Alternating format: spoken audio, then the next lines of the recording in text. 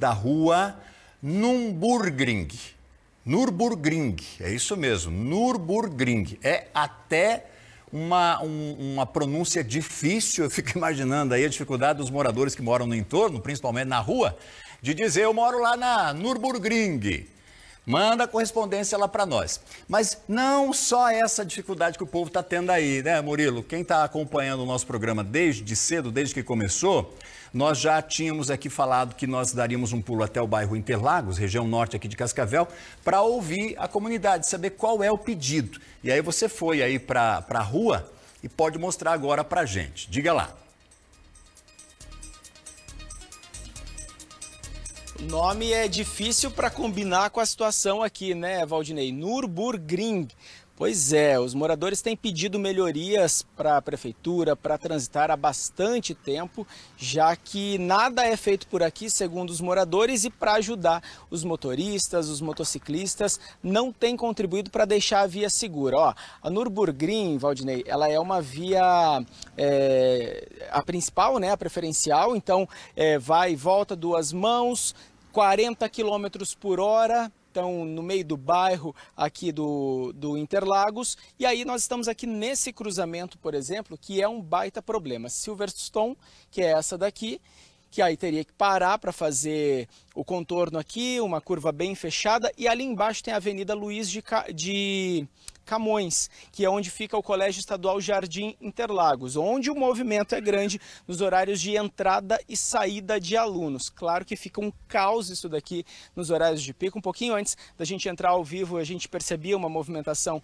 maior de alunos por aqui, também mães, pais levando os filhos até a escola, mas, segundo os moradores, a alta velocidade aqui é constante e nesses cruzamentos, tanto nas outras ruas também, Valdinei, que também tem essas paralelas é, nesses cruzamentos mais fechados, também são palco para acidentes e situações né, de risco bem grandes aí para os moradores e principalmente para as crianças, para os alunos. A gente até conversou com um morador que falou a respeito disso, que já, que já pediu melhorias aí para transitar, mas nada foi feito até então. Vamos acompanhar.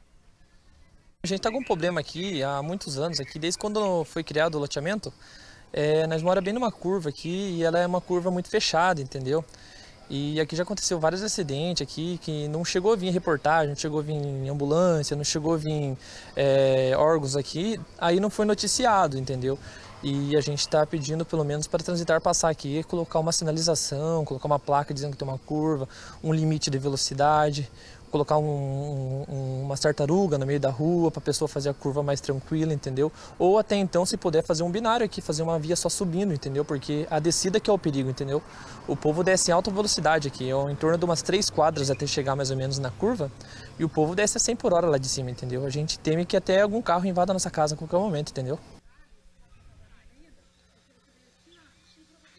E são vários pontos problemáticos aqui na região, né, Valdinei? Então a gente entrou em contato com a Transitar para tentar entender o que, que foi feito, o que, que tem de previsão para ser feito por aqui. E a Transitar informou por meio de nota que já recebeu sim as reclamações é, via é, ouvidoria, né, no 156. Já está programado então nos próximos dias a sinalização com taxões aqui no local para evitar então é, o excesso de velocidade por parte dos motoristas e também vai reforçar a sinalização horizontal, como a gente percebe na Silverstone ali não tem muita, não tem faixa de pedestre, a pintura está bem apagada. Em outras ruas aqui, como a gente percebe nas imagens feitas pelo Rodrigo Lima também, é, a gente vê toda a movimentação que precisa né, é, de atenção reforçada, porque os motoristas não respeitam esse limite de velocidade. É um equilíbrio que precisa ter né, entre a prefeitura e os moradores. Então vamos ver, né? A gente vai acompanhando um pouco mais de perto para ver se essa essa, é, essa promessa aí da Transitar de colocar mais sinalização por aqui também esses taxões vão contribuir para o excesso de velocidade os motoristas possam respeitar e a comunidade ficar um pouco mais segura, né, Valdinei?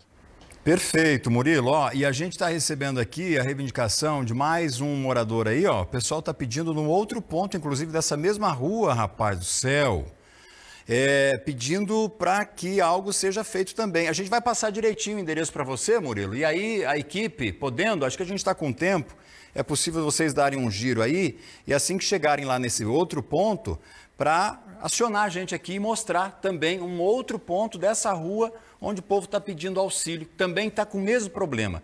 Aguenta lá que a gente volta, tá, Murilo? Procura essa, esse ponto e assim que encontrar, nos avise, que nós vamos até você aí para mostrar então outra situação o pessoal ali da região norte está enfrentando com relação ao trânsito. Daqui a pouco ele volta. Essa é a importância do jornalismo, do serviço comunitário, porque à medida que uma família relata um problema, conta uma história de uma dificuldade, a gente tem outras que estão acompanhando e fazem o mesmo, fazem o mesmo caminho, entram em contato com a gente aqui dizendo: olha, mas não é só essa vizinha, não. Aqui a situação está assim, também preciso de ajuda. Podem monitorar, podem acompanhar. E aí a gente, obviamente, fazendo parte né, da nossa tarefa, da nossa missão, a gente faz isso com muita alegria. Daqui a pouquinho o Murilo vai voltar aqui.